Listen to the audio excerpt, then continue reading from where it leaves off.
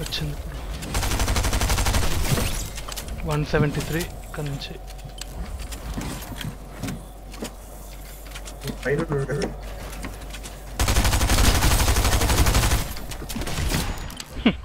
Comedy. ఇద్దరు ఉన్నారా ఇద్దరున్నారు